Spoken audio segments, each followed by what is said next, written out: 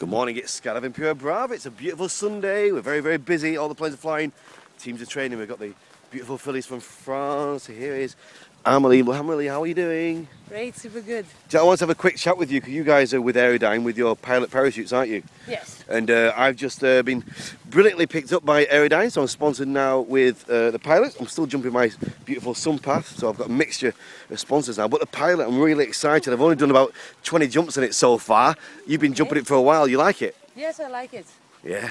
Yeah, the good thing is that the opening is uh, super safe for uh, training Yes. and uh, we can land almost in uh, any condition easily and where we want. So it's perfect for a team like us training 12 jump per day. It's super nice. Absolutely, and that's the reason I've chose as well because for uh, hey yeah, well sure, for me as well, load organising every day. I want you know constant openings and I want a nice canopy. Exactly. Hey, they're quite sporty as well, eh?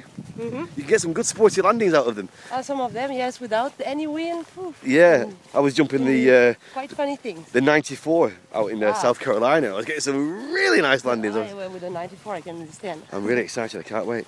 So, ladies, have a great skydive. Sorry to interrupt your training. À tout à l'heure. Woohoo.